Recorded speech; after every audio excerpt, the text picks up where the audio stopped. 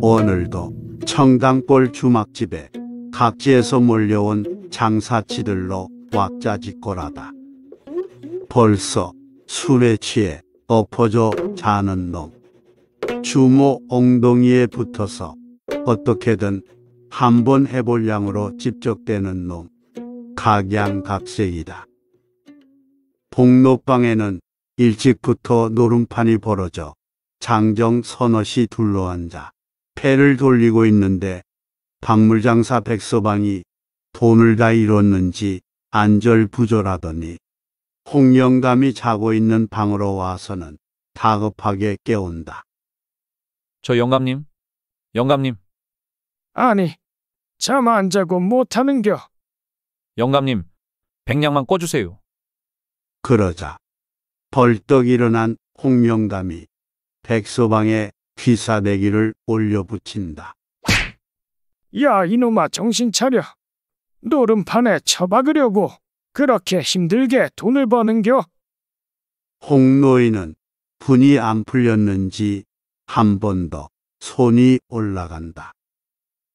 그러자 손으로 얼굴을 막으며 뒤로 물러선 백서방. 이놈아, 그렇게 노름을 못 끊겠으면 손목댕이를 당장 잘라버려. 백서방은 홍노인의 기에 눌려 풀이 죽은 모습으로 벌러덩 누워버린다.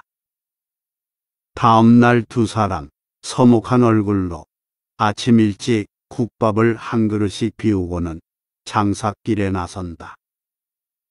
두 사람은 선어회 전에 우연히 국밥집에서 만나 서로 배짱이 맞아 친해지게 되어 마치 부자지간처럼 같이 장사를 다니고 있다.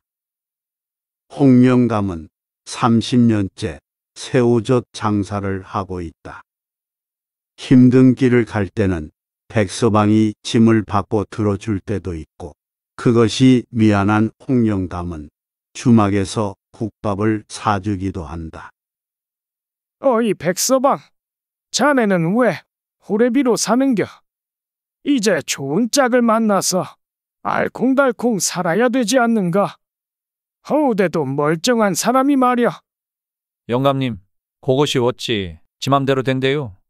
지라고 혼자 살고 싶겠어요? 백서방은 호칭만 백서방이지 아직 장가 한 번 못 간 노총각이었다. 홍영감은 자식 같은 마음에 늘 백서방 걱정에 마음이 쓰인다.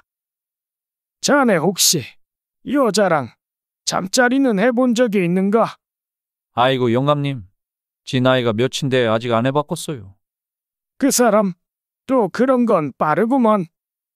그러며 둘은 한바탕 웃어댄다. 오늘은 두 사람이 모처럼 심기일전하여 충청도 영천장으로 갔다. 장터에 도착하니 이미 좋은 자리는 동네 토박이들이 선점을 했는지라 가장 구석진 곳에 지게를 풀었다. 새우젓, 두화젓살이요. 꼴뚜기젓도 있어요. 옆에서 백서방도 큰 소리로 참빛, 백가분이 있어요. 그때였다. 우서방이란 놈이 곁으로 와서는 등짝에서 새우젓을 내리더니 큰 소리로 외친다. 자 새우젓 사려 한 종기에 50전 50전만 받습니다요 홍영감의 얼굴이 일그러지기 시작했다. 사실 아무리 싸게 팔아도 한 종기에 한 양은 받아야 최저 타산이 맞다. 그런데 우서방이란 놈이 반을 뚝 깎아서 50전을 부르니 홍영감을 제치고 모두 그곳으로 가서 사기 시작한다. 아니, 영감님. 저놈 저렇게 팔아제끼면 상도덕에 벗어나는 거 아닙니까요? 홍영감은 한참을 우서방만 노려볼 뿐 아무 말이 없다. 아니, 저런 불안당 같은 놈.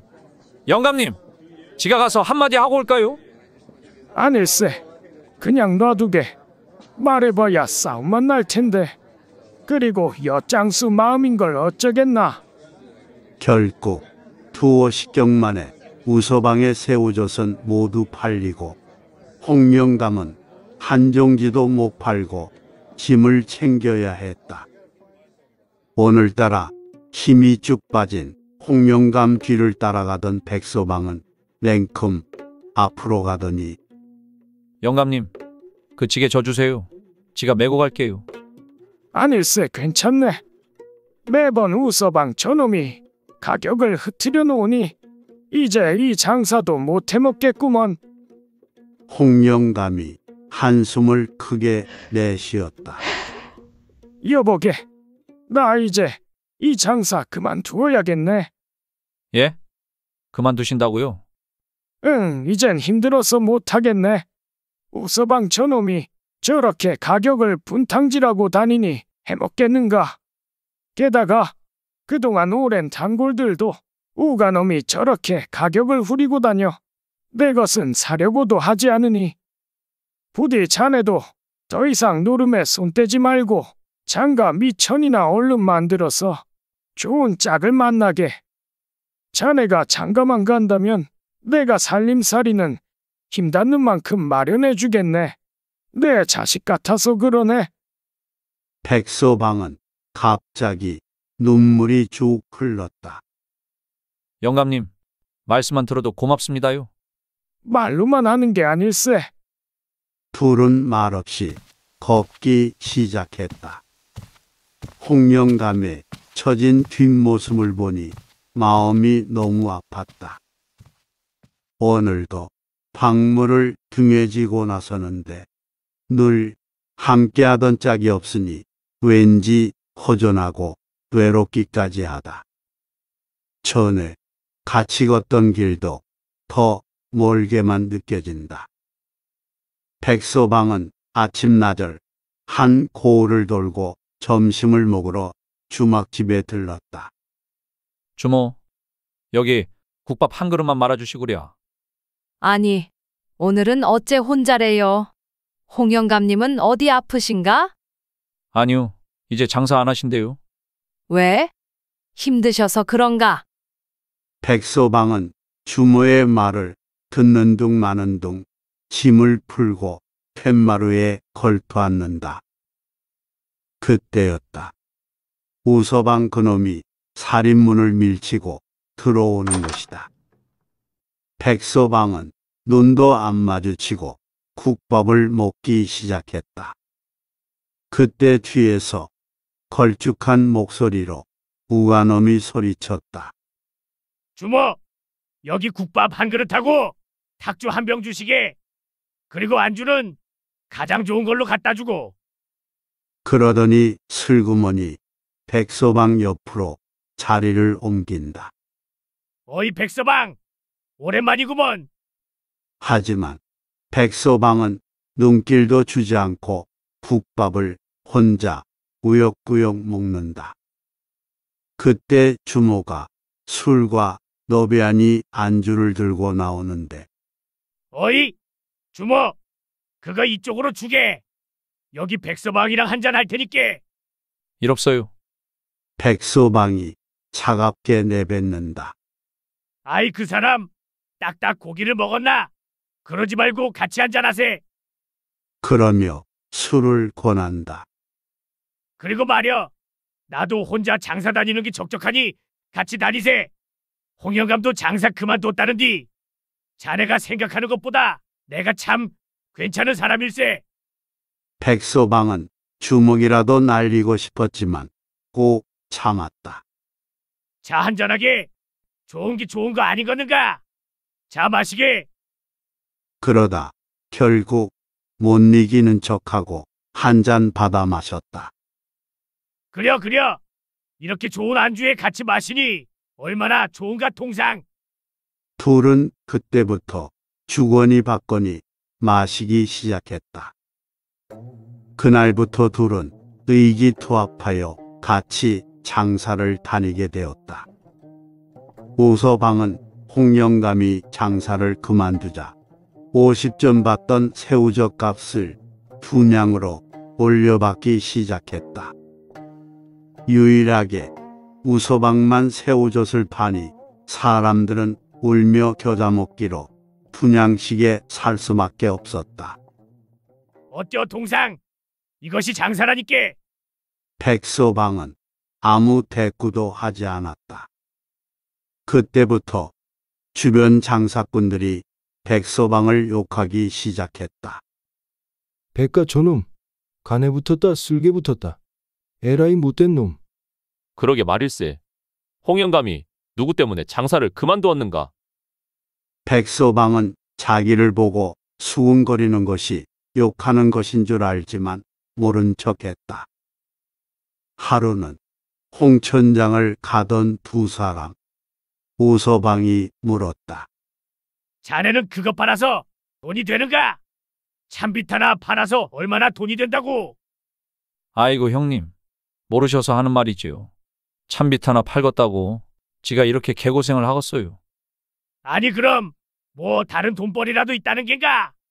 사실은 큰 돈이 되는 건 따로 있어요. 그게 뭔가? 몹시 궁금한지 우서방이 가던 길을 멈추고 물어본다. 목신이지요? 목신 향나무로 정교하게 깎은 목신 하나 들이대봐요. 다 환장한다니까요. 없어서 못 팔지요. 그거 한 개만 팔아도 그날 장사는 다 한 것이라니까요. 거기다 목신만 팔겄어요? 이것이 필요한 아녀자한테 진짜 그것만 하겠어요? 목신도 팔고 회포도 풀고 일석이조라니까요. 헉 정말인가? 그럼요. 안성댁, 마천댁, 제천댁 모두 지 단골이지라. 나만 가면 환장한다니까요. 아이고 나는 그 등골 빠지는 새우젓찌개 죽어도 못 져요. 그 소리를 듣더니 침을 꿀꺽 삼키며 다가오는 우서방. 여보게 나한테 목신 파는 방법과 회포 푸는 그 비법을 좀 알려주게. 대신 내가 천냥을 줌세. 새우젓만 지고 다니니 아무리 씻어도 전 냄새 난다고 들병이 마저도 피하니 그래요. 천냥 갖고는 절대 안 되는디. 형님이니까 알려주는 것이구만요. 아이고 고맙네. 둘은 가던 길에 쪼그리고 앉아 우가에게 목신과 수작권은 비법을 전수해 주니 그날로 우서방은 새우젓 장사를 때리치고 박물 장사가 되었다. 그로부터 며칠 후 백서방이 홍명감 집에 들렀다. 마당에서 한참 고추를 말리고 있던 홍명감이 반색을 하며 반갑게 맞아준다. 영감님, 잘 계셨대요? 그랴 웬일인가? 혹시 색식감이 생긴 겐가? 아니요. 아직이구먼요. 그랴 그러면 밥은 먹었는가? 어여 들어가세. 영감님, 그것보다 이제 다시 장사를 시작해야지요. 장사 이보게 우가놈 때문에 그만두었다지 않는가? 영감님, 그놈은 지금 홍천 관가에 있습니다요. 아마 한참 옥살이를 해야 될 겁니다요. 아니 옥살이라니 그게 무슨 말인가? 그놈이 마천골 김첨지 안방마님한테 목신을 들이대고 끌어안으려다가 놀란 마님이 관가에 고발하여 잡혀갔지요. 아니 우가놈이 갑자기 목신이라니 도대체 무슨 말인지 모르겠구먼. 그런 게 다 있어요. 백서방은 혼자 빙긋이 웃었다. 그리고 우가놈이 새우젓 값을 올려놨으니까 영감님이 받던 것보다 50전은 더 올려받을 수 있을 것이구먼요. 홍영감은 오한이 봉봉했다. 영감님, 차차 다 알게 될 것이니까 장사 준비나 하세요. 둘은 다음 날부터 다시 사이좋게 박물과 새우젓을 지고 장사를 떠났다. 마당에 활활 책이 불타오르고 연기가 자욱하다. 한 중년의 선비가 불타는 책을 보며 무릎을 꿇고 통곡을 하고 있다. 이놈의 더러운 팔자. 나 같은 놈은 죽어야 돼. 한가로이 마당을 뛰어다니는 닭들의 울음소리와 사랑방에서 3대 독자인 백두만이 책을 읽는 소리가 묘한 대비를 이룬다. 두만이는 책을 읽고는 있으나 머릿속엔 온통 과거 시험에 대한 의구심만 들었다. 이것을 꼭 해야만 하는가?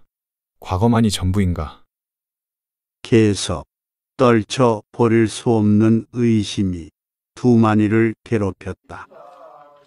증조 할아버지의 성화에 할아버지도 일찍부터 과거를 준비하여 밤낮으로 책을 읽었다. 몇 번인가 과거를 치루었지만 그때마다 낙방하니 할아버지는 증조 할아버지로부터 사람 대접을 못 받았다. 나이가 40이 되도록 급제를 못하니 하루는 낙방하고 집으로 돌아오는 길에 주막에 들러 술을 진탕 마시고 그 길로 강에 뛰어들어가 스스로 목숨을 끊어버렸다. 그 뒤로 두만이의 아버지도 아버지의 원을 풀어보고자 열심히 과거 공부에 전념하였다. 하루 종일 글을 읽고 심지어 변소에 앉아서도 책을 놓지 않았다. 그런데 과거 귀신이 이 집안에 붙었는지 보는 족족 낙방을 하는 것이다.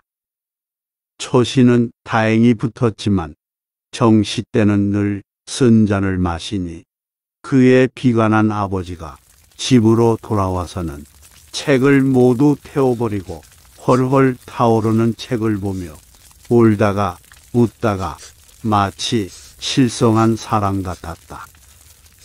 멀리 뒤에서 이 모습을 본 두만이는 몹시 큰 충격을 받았지만 나는 반드시 과거에 급제하겠노라 입술을 꼭 깨물며 다짐했다. 그런데 과거를 포기한 아버지는 그때부터 사람이 완전히 바뀌었다. 늘 술에 쩔어서 비틀거리고 다녔으며 집안을 전혀 돌보지 않고 주색잡기에 빠졌다. 속상한 어머니가 아버지에게 무릎을 꿇고 제발 정신 차리라고 사정을 해도 전혀 귀담아 듣지 않는다. 그나마 다행인 것은 두만이의 집이 만석군은 아니지만 대대로 물려준 재산이 있어 먹고 사는 데는 큰 문제가 없었다. 그런데 사단이 나기 시작한 것은 아버지가 노름에 손을 대면서부터였다. 동네 왈패들과 어울려서 투전판을 들락날락 거리더니 급기야 전답을 팔기 시작했다. 어떤 날은 눈이 뻘개져서 들어와서는 문갑을 뒤져 땅 문서를 들고 나갔으며 어머니가 몰래 전담 문서를 숨겨두면 어서 내놓으라며 사정없이 두들겨 패고 나니 어린 두만이는 엄마 치맛자락을 잡고 두려움에 떨곤 했다. 두들겨 맞은 어머니의 얼굴은 새파랗게 몽이 들었고 코에서 코피도 쏟아졌다. 하지만 어린 두만이로서는 어찌할 수가 없으니 그저 울기만 할 뿐. 머리가 다 풀어지고 치마가 다 찢어져 버린 어머니는 두만이를 안고 서러운 눈물을 한없이 흘렸다. 두만아, 이 애미는 도저히 살 수가 없구나. 네 애비와 더 이상 어찌 살아간단 말이냐. 그러던 어느 날 눈이 퐁퐁 내리는 새벽에 어머니가 숨겨둔 땅 문서를 들고 가출을 하고 말았다. 잠에서 깬 두만이가 안채로 가보니 어머니의 소지품이 모두 없어지고 아무리 찾아도 어머니가 보이지 않는다. 어머니, 어디 계십니까, 어머니? 그때도 여전히 노름에 미친 아버지가 안채로 뛰어 들어오더니 문갑을 뒤지기 시작했다. 아버지, 어머니가 안 보이십니다. 뭐라고? 뒷간이라도 간 게 아니냐? 다 찾아보았으나 보이지 않습니다. 아버지는 미쳐서 구석구석 다 뒤져보았지만 어머니도 전단문서도 보이지 않는다. 아니 인연이 어디로 도망친 게야? 제 자식도 버리고 가는 못된 년 같으니라고. 아버지는 길길이 날뛰며 화를 낸다. 이제 남은 것은 집사와 다섯 명의 종, 그리고 커다란 집 한 채뿐. 아버지는 문중 어른들을 만나 돈을 빌리기 시작했다. 그러더니 하루는 돈을 주고 샀는지 어디서 18살 정도 돼 보이는 젊은 여자를 데리고 들어오더니 두마나, 오늘부터 이 사람이 내 새어머니다. 알겠느냐? 기껏해야 자신과 두세 살쯤 밖에 차이가 없어 보인다. 그러니 차마 어머니라는 소리가 입 밖으로 나오지 않았다. 두만이는 사랑채에 박혀 밖으로 나가지 않고 과거 공부만 하였다. 몇 년이 지나 과거를 보았으나 역시 낙방하고 말았다. 이것은 분명 우리 집안과는 과거가 인연이 아니야. 두만이도 결국 모든 것을 체념하고 말았다. 지친 모습으로 집에 돌아오니 난리가 났다. 어젯밤부터 아버지가 채기가 있더니 못 일어난다는 것이다. 의원을 불러도 원인을 모르겠다며 손을 놓더니 결국 아버지는 사나흘 앓다가 숨을 거두고 말았다. 아버지의 3년상을 마치고 두만이는 어머니를 찾기 시작했다. 할머니, 어머니가 어디 계신지 아시죠? 제발 알려주십시오. 할머니는 한참 생각에 잠기더니 힘겹게 말을 꺼낸다. 그래. 이제는 내 애비도 세상에 없으니 내 알려주마. 하지만 절대 내 애미를 욕해서는 아니 되느니라. 알겠느냐? 예, 할머니. 잘 알겠습니다. 사실은 내 애미가 너를 두고는 절대 재혼을 하지 않겠다고 우겼으나 내가 고집하여 돈 많고 학식 있는 호래비를 만나 재혼하여 잘 살고 있단다. 두만이는 그 소리를 듣고 퐁퐁 울기 시작하자 외할머니도 그런 손주의 손을 잡으며 같이 울기 시작했다. 두만이는 어머니가 계신 곳을 찾아갔으나 도저히 안으로 들어갈 자신이 없었다. 문 밖에서 한참을 서성거리다 결국 발길을 돌리고 말았다. 어머니, 부디 잘 사십시오. 그러나 저는 어머니 원망 안 합니다. 단지 어머니 얼굴이라도 한번 뵙고 갔으면 좋았을 텐데. 두만이는 두 눈에 흐르는 눈물 때문에 앞을 분간할 수가 없었다. 집으로 돌아온 두만이는 산으로 들어가 스님이 되기로 마음 먹고 집사를 불러 같이 술을 한잔했다. 여보게, 이제 나는 모든 걸 정리하려고 하네. 그동안 자네가 고생이 많았네. 아닙니다요, 도련님. 왜 그런 말씀을 하십니까요? 전 죽어도 도련님과 함께 할 것입니다요. 아닐세, 고집 부리지 말게. 그리고 두만이가 집사에게 조용히 뭐라고 뭐라고 하자 깜짝 놀란다. 아닙니다요, 도련님. 어찌 제가 절대 그럴 수 없습니다요. 여보게, 내 간절한 소원이니 그리하게. 부탁이네. 누가 그 사람을 지켜주겠나. 몇 번을 간청하자 집사가 고개를 푹 숙이더니 눈물을 흘린다.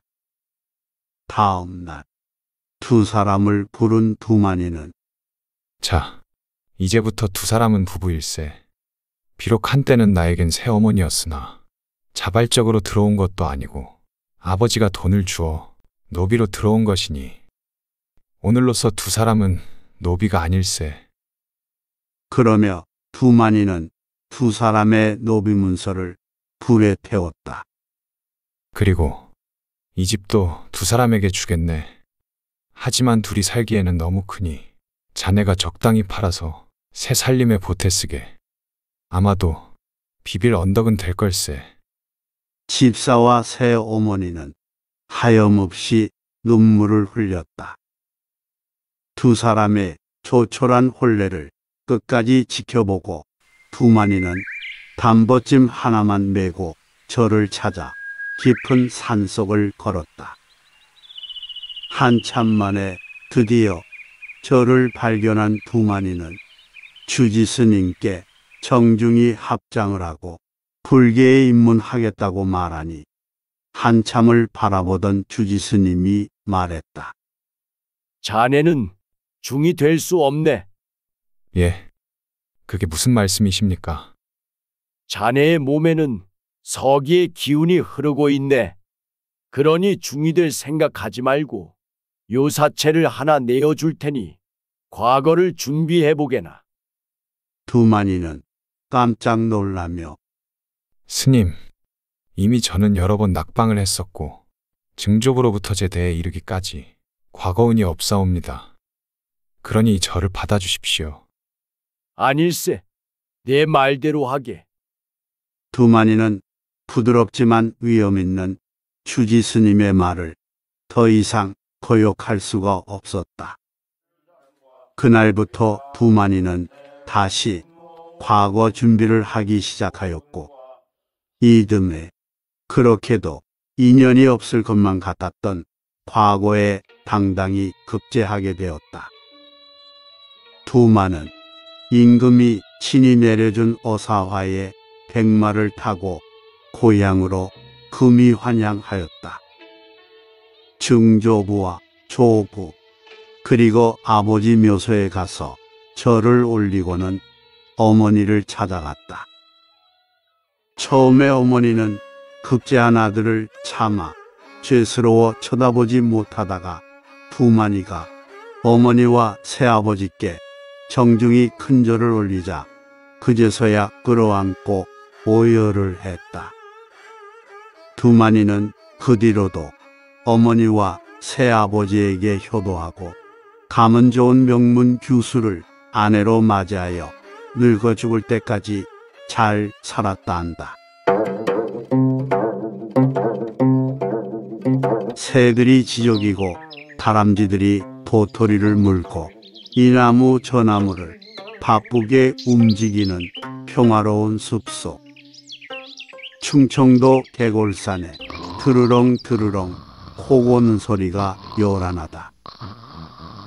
약수가 흐르는 산골 한기퉁이에 암자가 하나 있는데 아무도 돌보지 않아서인지 마당에 잡초가 무성하다. 그 암자에는 백면초사라는 사내가 혼자 기거하며 복당을 지키는데 특이한 것은 그가 모시는 신이 부처님도 아니요 옥황상제도 아닌 아기를 주관하는 삼신할미다. 처음에는 아이를 갖지 못하는 아녀자들이 가끔 올라와서 치성을 드렸지만 별 효험이 없자 발길이 뚝 끊겼다. 그러자 먹고 살기 힘들어진 백면처사가 이 동네 저 동네를 다니면서 누가 와서 치성을 들여 아이를 임신했다느니 누가 사내 아이를 낳았다느니 거짓 소문을 내고 다녔지만 더 이상 누구도 백면 처사가 있는 남자를 찾지 않았다. 그래서 할 수 없이 동네마다 탁발을 다녀 빈이나 해결하고 매일 할 일이 없으니 잠만 자는 것이다. 오늘도 변함없이 점심을 먹고 법당 안에서 자고 있는데 멧돼지 한 마리가 나타나 자기가 방금 싸놓은 똥을 호곱지겁 먹더니 울꿀거리며 산으로 올라가는 꿈을 꾸었다. 벌떡 일어난 처사는 무릎을 치며 좋아했다. 아이고 대박이구먼. 돼지 꿈에 똥꿈까지 구웠으니 처사는 언제 생길지 모르는 횡재수를 기대하며 오랜만에 삼신할미께 기도를 했다. 삼신할미님, 부디 오늘 저에게 눈 딱 감고 백냥만 생길 수 있게 도와주십시오. 요즘 고기를 못 먹었더니 기운을 쓸 수가 없습니다요. 기도를 마치고 잡초무성한 마당도 쓸었다. 그런데 잠시 후 정말 희한한 일이 생겼다. 갑자기 사람들 소리가 웅성웅성 나더니 두 개의 가마가 암자에 올라오는 것이다. 가마로 보아서는 꽤 명문가로 보이고 저만큼 가마꾼을 쓸 정도이면 만석꾼임에 틀림이 없어 보였다. 순간 본능적으로 백면처사는 툇마루에 정좌를 하고 근엄한 표정을 지으며 앉아 있었다.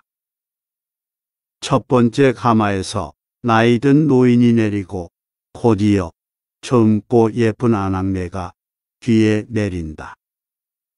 속으로 후첩인가 보다 생각하는데 노인이 성큼성큼 백면처사 쪽으로 걸어왔다.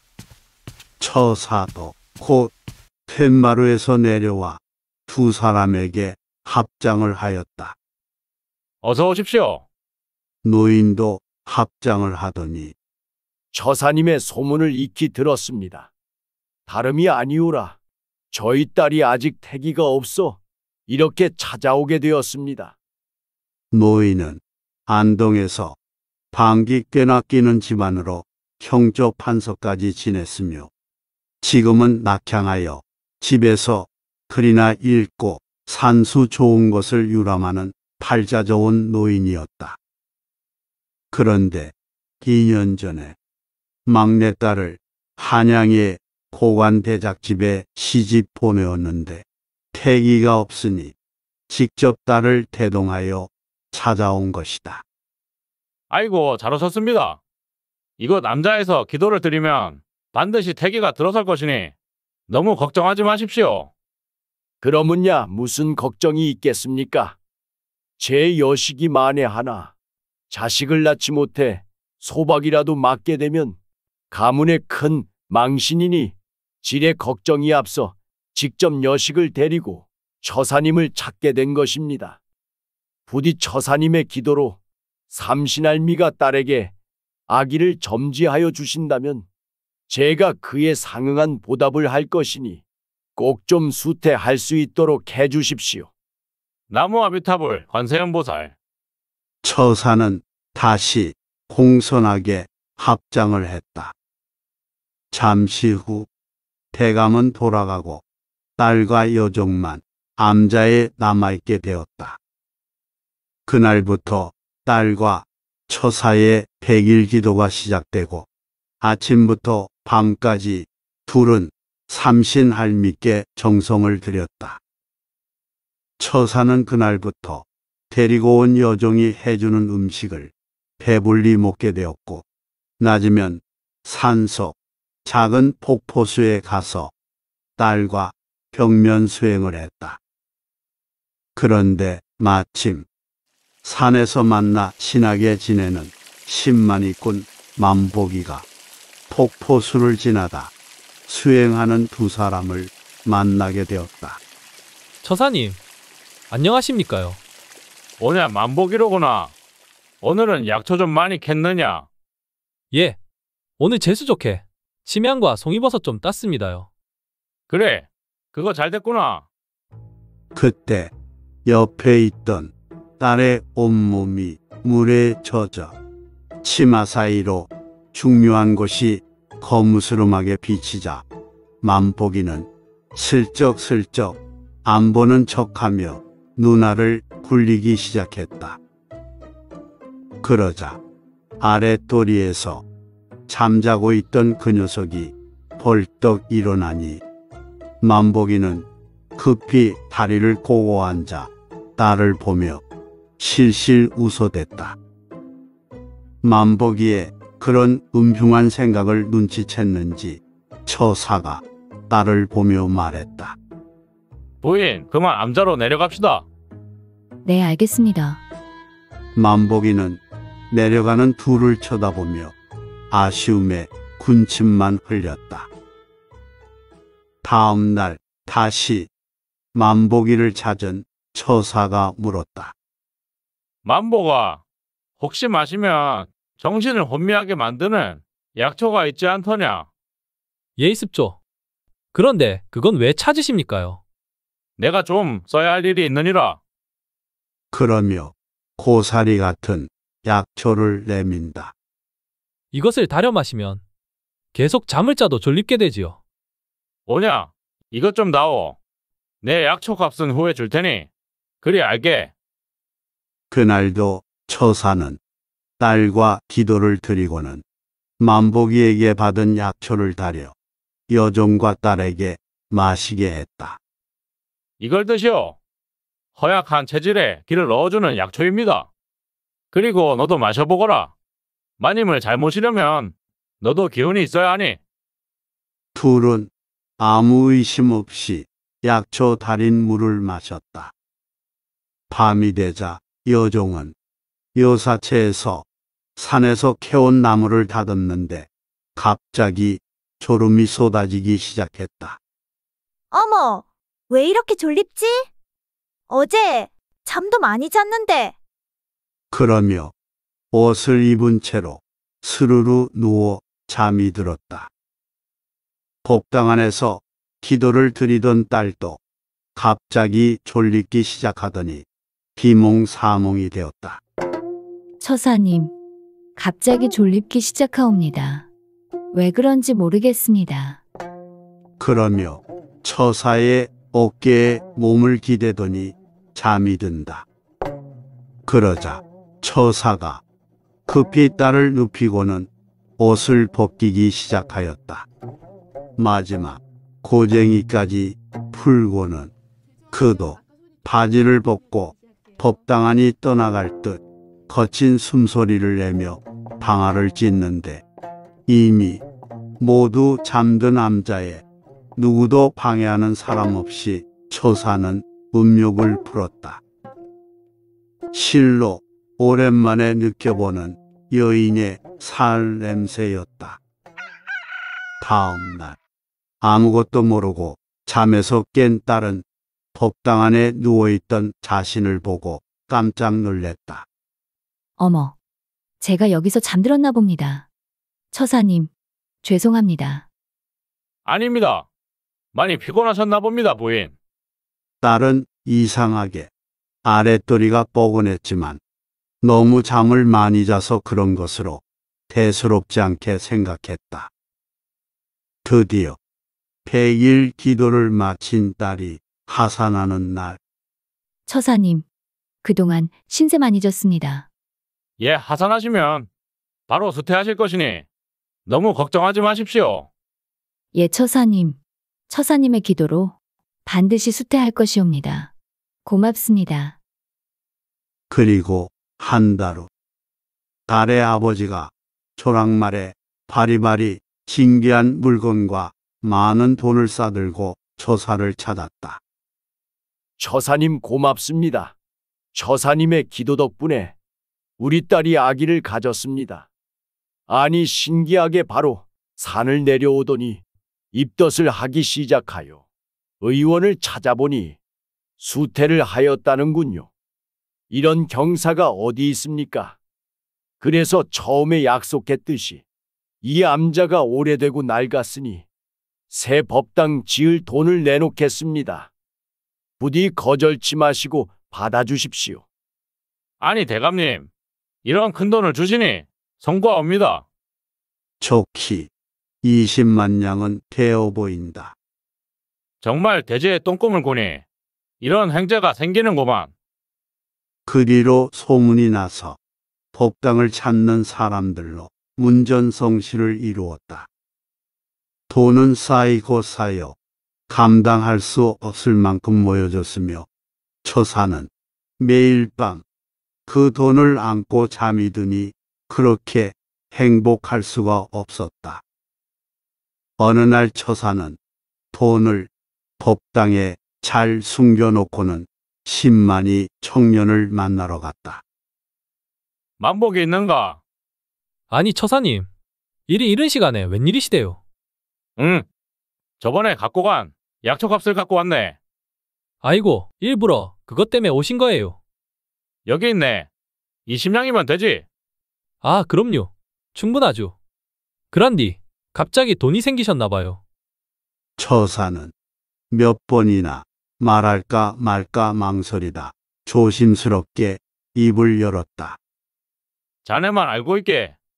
사실은 이러이러해서 저렇게 됐다네. 예? 돼지 꿈에 똥꿈이요. 잉. 그런데 아기가 출산하면 난 이곳을 떠나야 하네. 왜요? 글쎄, 그런 일이 있구먼. 만복이는 처사를 매우 부러운 눈으로 쳐다보았다. 처사님, 지도 그런 꿈을 꾸면 그런 행제가 올까요? 암 그렇고 말고 자네도 한번 노력해보게. 만복이는 그날부터 일부러 똥도 밟고 다니고 돼지 우리에 가서 돼지를 안아보기도 하고 온통 돼지와 똥 생각만 하였다. 그런데 좀처럼 움이 꺼지지 않으니 애가 타기 시작한 만복이는 몰래 더러운 돼지 우리에서 돼지들과 같이 잠을 자기도 했다. 한날은 돼지를 꼭 껴안고 잠을 자는데 갑자기 멀리서 돼지 서른 마리 정도가 산속으로 달려가기에 정신없이 따라갔더니 도착한 그곳에 황금이 산처럼 쌓여 있는 게 아닌가. 만복이는 돼지를 밀쳐내고 그 앞으로 달려가서 황금을 안는 순간 돼지 한 마리가 꽥꽥거리는 소리에 잠이 깼다. 헉, 꿈이었구먼. 그런데 지성이면 감천이라더니 드디어 나도 돼지 꿈을 꿨어. 게다가 황금까지. 그 길로 주먹밥 몇 개를 싸서 개골산에 올라갔다. 이리저리 뒤지고 뒤지다 보니 산의 꼭대기까지 올라가게 되었는데 만복이는 그 자리에서 털썩 주저앉았다. 눈앞에 자연 산밭이 펼쳐져 있던 것이다. 신봤다도 외칠 수 없을 정도로 깜짝 놀랐다. 그곳에는 자연산 산삼이 밭을 이룰 정도로 많이 자라고 있었던 것이다. 만복이는 조심스럽게 산삼을 캐보니 뇌두와 잎과 줄기를 보아 좋기 50년은 돼 보였다. 한 뿌리에 2만 양은 충분히 받을 수 있는 최상품이었던 것이다. 그런 삶이 밭을 이루었으니 만복이는 하늘을 향해 크게 소리치며 절을 했다. 옥황상제님 고맙습니다. 고맙습니다.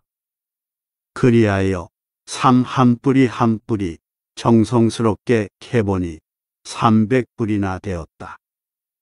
바로 하산하여 한양으로 가서 가장 큰 약재상에 들러 한 뿌리를 보여주자. 약재상 주인은 그걸 보더니 뒤로 넘어갈 듯 깜짝 놀란다. 아니, 이렇게 좋은 산삼은 처음 보네. 내 만오천냥 쳐주겠네. 싫어요. 이런 상품을 만오천냥엔 어림도 없어요. 알겠네. 그럼 만팔천냥에 하세. 만복이는 선심 쓰는 척하며 만팔천냥에 산삼 한 뿌리를 팔았다. 그란디 주인어른, 혹시 한양에 산삼 사려는 사람이 몇이나 있대요? 아, 그야 많지. 없어서 못 팔지 팔 데가 없겠나? 그럼 한날 한시에 다 모이게 할 수 있남요? 왜 그런가? 글쎄 다리만 놔줘봐요. 내 한몫 단단히 챙겨드릴 테니. 참, 많으면 많을수록 좋아요. 그리하여 약재상 주인은 한양 돈 많은 만석군을 모두 모았다. 좋은 산삼을 싸게 판다하니 수백 명의 사람들로 약재상이 북새통을 이룬다. 자, 자, 지금부터 산삼을 공개할 테니 모두 조용히 하시고 돈이나 준비하세요. 만복이가 싸놓았던 산삼을 풀자 일제히 와 하는 탄식이 흘러나왔다. 지금부터 하나씩 나눠드릴 테니 돈을 들고 줄을 서세요. 그리하여 순식간에 그 많던 산삼이 다 팔리고 엽전이 산처럼 수북하게 쌓였다. 그 많은 돈을 가만히에 넣은 뒤 말에 싣고 고향으로 돌아왔다. 순식간에 대부자가 된 만복이는 커다란 집을 짓고 종도 두었으며 예쁜 색시도 얻었다. 세상 부러울 게 하나도 없다. 그 소문을 듣고 백면처사가 만복이를 찾았다. 야, 이 사람아. 신수가 화내졌구만. 이게 웬일인가? 예, 처사님. 처사님 덕분에 갑부가 되었습니다요. 고맙습니다요. 오늘 오셨으니 술이나 한 잔 하러 가시죠. 그럴까? 둘은 예전 같으면 엄두도 못 낼 기방으로 가니 기생들이 만석군 갑부가 왕림했다며 대 여섯 명이나 들어왔다. 자, 어서 들어오게. 오늘 코가 삐뚤어지게 마셔보세. 그리하여 환락의 술잔치가 벌어졌다. 만복이가 엽전을 방바닥에 던지면 기생들이 줍느라 난리 법석이다. 밤늦게까지 술을 마시고는 각자 기생을 데리고 방으로 들어갔다. 다시 또 뜨거운 육합을 벌이고는 드르렁 드르렁 코를 골며 잠이 들었다. 한참 맛있게 자고 있는데 누가 오더니 흔들며 잠을 깨운다. 여보게, 그만 일어나게. 곧 해가 넘어갈 텐데. 만보기가 눈을 떠보니 초사였다. 기생들은 다 어디 갔어요? 기생, 뭔 소린가? 이 사람 대낮부터 술을 마신 겐가? 여기는 어디래요? 어디긴 어딘가? 개골산 숲속이지? 그럼 처사님은 지금 어디로 가는데요? 나? 탁발하러 가네. 암자에 먹을 게 있어야지. 그제서야 정신이 든 만복이 일어나 앉으며 커다란 한숨을 내쉰다. 제기랄, 꿈이었네. 일장춘몽. 쓸쓸한 가을밤, 온갖 잡생각으로 이리 뒤척 저리 뒤척 잠 못 드는데 문득 똑똑똑 조심스레 문을 노크하는 소리가 들려왔다. 거, 이 밤중에 누구시오? 세상 만사가 귀찮아진 정철이 자리에 비스듬히 누운 채로 심드렁하게 반응하니 이윽고 문이 살며시 열리면서 소리 없이 사뿐사뿐 들어서는 한 여인. 금시 어둡던 집안이 환히 밝아지는 것 같았다. 어, 이거 혹시 내가 여우 귀신에게라도 홀리운 게 아닐까? 하얀 장옷으로 얼굴을 살짝 가린 여인의 느닷없는 출연에 정철은 깜짝 놀랐다. 하지만 그가 더욱 놀란 것은 그 여인이 반쯤 덮어쓴 얄포름한 장옷을 천천히 벗자 안개가 거치듯 서서히 드러나는 눈부신 화용 월태. 즉, 복 같은 얼굴과 달 같은 자태의 절세 가인이었다. 들어온 그 여인이 곱게 무릎을 꿇고 삼가 엎드려 큰절을 올리더니 아미를 다소곳이 숙인 채 자아 소개를 하는 것이었다. 소녀는 천기, 강아 진옥이라 하옵는데 일찍부터 대감의 성망을 익히 들어 흠모했었사오며 더욱이 대감의 글도 많이 보고 가르침도 많이 받아보았나이다. 정철은 두 눈이 더더욱 휘둥그레졌다. 어, 강, 강아, 진옥. 진옥이가 그럼 제가 검은 고를 타올릴까요? 하고 말하고는 들고 온 검은고를 타면서 낭낭한 목소리로 시를 읊는다.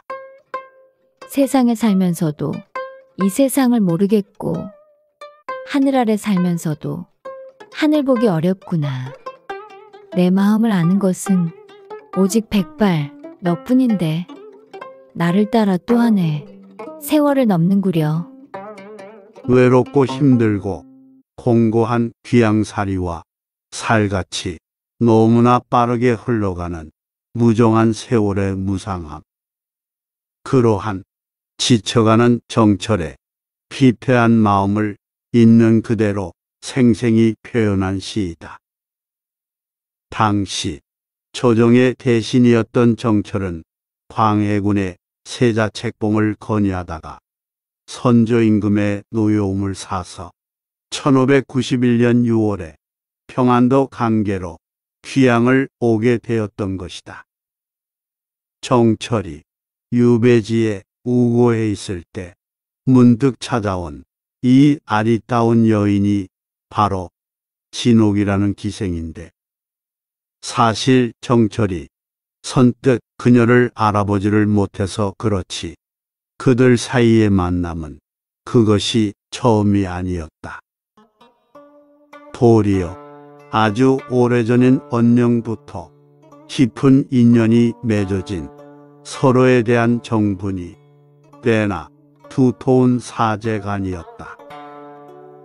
10년 전인 1581년 12월 전라도 관찰사로 부임된 46세의 송강 정철은 남원에 내려갔을 때 감명에서 잠이라는 아주 예쁜 동기를 처음 만난다. 그 소녀의 원래 이름은 진옥이고 자미는 관아에 등록된 기명이었다. 당시 불과 16살의 애티나는 동기 자미는 송강과 한방에서 함께 밤을 보냈지만 워낙 동정심이 많고 결백한 성품의 문사인 정철은 그날 밤 그녀의 손끝 하나 건드리지 않았다.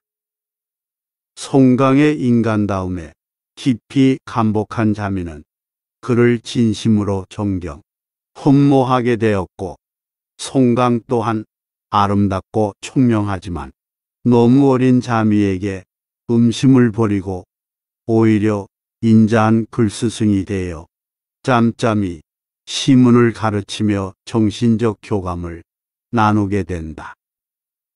자미는 일심으로 송강을 숭배한 나머지 후에 정철의 호인 송강의 강자에 여자라는 의미의 아자를 붙여 자기의 호를 강하라고 지었다고 한다. 즉, 송강의 여자라는 뜻이다. 하지만 그러한 호시절도 잠시간 송강은 도승지로 제수되어 열 달 만에 다시 한양으로 떠나게 된다. 이별의 눈물을 흘리는 자미에게 송강은 석별의 시를 주며 따뜻이 위로했다. 자미 화를 읊다. 정철 봄빛이 가득한 동산의 자미와 곱게 핀 그 얼굴은 옥비녀보다도 곱구나. 막루에 올라 장안을 바라보지 말라. 거리에 가득한 사람 모두 너를 사랑하리라. 그 후 강한은 언제든 다시 송강을 만나겠다는 일념으로 인고의 10년을 버텨낸다. 그러나 얼마 전에 들려온 소식에 의하면 송강이 북쪽 강계로 귀양을 갔다는 것이고 또 그곳에서 홀로 돌봐주는 사람도 없이 너무나 외롭고 초라하고 쓸쓸하게 지낸다는 것이었다. 강아, 진옥은 못 잊을 스승인 정철을 만날 수 있다는 희망으로 어느 날 여분 남장을 한 채 보찜을 싸가지고 타발타발 혼자 고박 삼천리 몰고 험한 길을 걸어서 마침내 초막집에 위리에 안치되어 홀로 책을 읽고 있는 송강을 찾아낸다. 여기서 위리 안치란 가시나무에 둘러싸여 집 밖으로의 출입이 금지되는 유배를 말한다. 오랫동안 험한 길을 걸어오느라 몹시 초라하고 어지러워진 자신의 행색을 깊이 감촉한 진옥은 마음 같아선 한달음에 달려가 와라 송강의 품에 안겨 대성통곡하고 싶었지만 애써 울컥 솟구치는 눈물과 그리움을 억누르며 진정을 했다. 먼저 부근에서 누구도 없는 계곡의 맑은 냇물을 찾아가 깨끗하게 목욕 재개하고 갖고 온 보찜에서 제일 고운 옷을 꺼내 정이 갈아입은 다음 정철을 위로할 술과 음식, 검은고를 들고 이렇게 한밤중이 되어서야 불쑥 나타나게 된 것이다.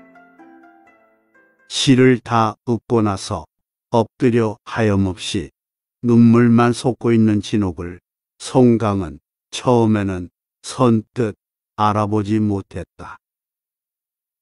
얼마 후 자처지종의 사연을 듣고 나서야 정철은 믿기지 않는 눈앞의 현실에 그저 그 모든 것이 꿈만 같고 얼떨떨하여 정신이 혼미해질 뿐이었다.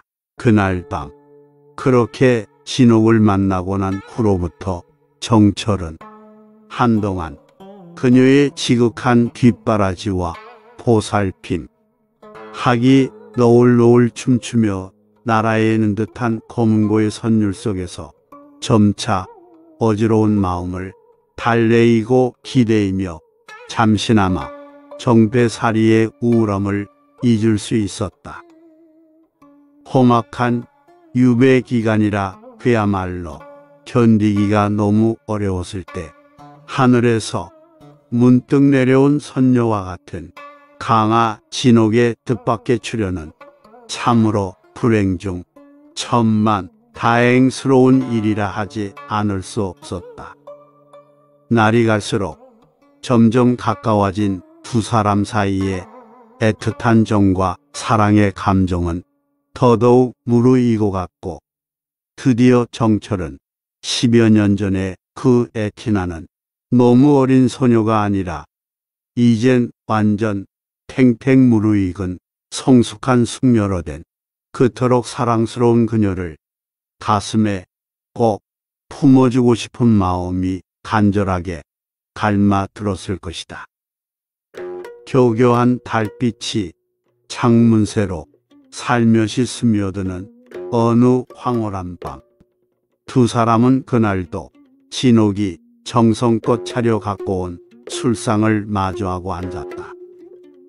연거포 술 몇 잔이 들어가자 울컥 오른 취기에 거나해진 송강이 마침내 조선의 풍류를 아는 대문호답게 참지 못하고 매혹적인 그녀에게 로맨틱한 연애시 한 구절을 날린다. 고나 악부에 나오는 정송강 여진옥 상패답이란 시이다. 오기오기라커늘 반옥인 줄 알았더니 이제야 보아하니 진옥일 씨 적실하다. 나에게 살송 곳 있어 뚫어볼까 하노라. 송강, 정철의 노래가 끝나자 검은고를 뜯던 진옥은 기다렸다는 듯이 조금도 우물쭈물하지 않고 대꺽 응수하기를 철이 철이라커늘 섭철로만 여겼더니 이제야 보아하니 정철일 씨 분명하다. 나에게 골풀무 있어. 녹여볼까 하노라. 순간 정철은 입이 딱 벌어지게 깜짝 놀랐다. 그녀의 즉석 화창은 조선 제1의 시인 정철을 두 손 바짝 들 정도로 완전히 tam복시켰던 것이다. 정철의 시조에 자자구구 대구 형식으로 서슴없이 불러대는 진옥은 정령 뛰어난 시인이었다. 참말로 뛰어난 그 스승의 뛰어난 그 제자였다. 두 사람의 은유적 표현 역시 참으로 뛰어나다. 반옥은 진짜 옥이 아니라 사람이 만든 인조옥이고 살성곳은 육성곳으로 남자의 성기를 은유하고 있는데 진옥은 그 뜻을 듣자마자 쉽게 알아차리고 있는 것이다. 뿐더러 오히려 한수를 덧든다. 반옥에 대해서는 섭철, 진옥에 대해서는 정철, 살성곳에 대하여는 골풀무의 대구로 응수하며 놀라운 절창을 뽑는데 너무나도 절묘한 기지와 재치와 해학이라고 하지 않을 수가 없었다. 섭철은 작것이 섞인 순수하지 못한 새를 말하고 정철은 작것이 섞이지 않은 순수한 철이며 골풀무는 불을 피울 때 바람을 불어넣는 풀무인데 여기서는 남자의 성기를 녹여내는 여자의 성기를 은유하고 있는 것이다. 시조지 본화학부에 수록한 기생 진옥의 그 시조 작품의 작자를 송강첩이라고 기록되어 있는데 시조 문헌 중에 누구의 첩이라고 기록되어 있는 것은 오로지 그녀가 유일하다. 진옥도 기녀임에 틀림없는데 송강첩이라고 기록된 것은 송강정철의 지위와 명성 때문일 것이다. 조선의 사회제도 속에서 양반의 축첩은 조금도 허물이 아니었는데 이런 기록이 더 많이 있을 수 있으련만 유독 송강첩이라는 기록은 진옥에게서만이 보인다. 그 누가 이들의 노래를 추잡한 시정잡대들이 오익질하기 위하여 희생을 유혹하는 방탕한 노래라고 할 수 있겠는가? 평소 흠모하던 은사이자 대문장가인 정철이 가장 곤궁에 빠졌을 때 조금도 서슴없이 그런 그에게 향한 일편단심 충성스런 여인의 육체와 정신이 합의를 이루는 숭고한 행위는 진실로 지고지순한 사랑행위 그 자체였을 것이다. 그날 밤 서로 철철 정이 넘쳐 흐르는 26세의 요조 승려와 56세의 귀양원 나그네는 특수한 신방인 유배지의 한 초가집에서 마침내 뜨거운 한 몸이 되었다.